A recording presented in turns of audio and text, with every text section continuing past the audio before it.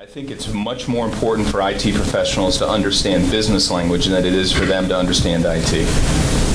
Right? The burden is not for them to understand how to program. But it is, the onus is on us to understand how that company makes money. And then facilitate it. and then facilitate it. You know, and one of the things we do, we've always done at AIG, we do at AdCare, is that every project has an executive sponsor. And every project has to be staffed adequately from non-IT resources to provide guidance for requirements. You're building a house, you want that customer to have input into where walls go.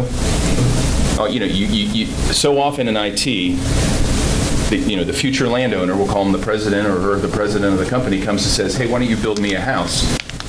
and then walks away. Then comes back six months later and gets really upset when you built a ranch when they wanted a two-story.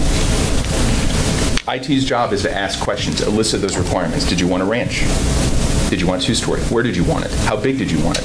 Did you want siding? Did you want brick? Those are all the same thing as requirements gathering, no matter if it's a packaged application, you're going off the shelf to buy SAP, a custom-built application, a cloud solution, whatever it is. Because once you have that blueprint, it's a whole lot easier to build that house than it is going, well, he looks like a two-story man. So Let's, let's start with that, you know, and guessing, because it's a whole lot more expensive to tear that down and add a level than it is to, uh, to do it right the first time.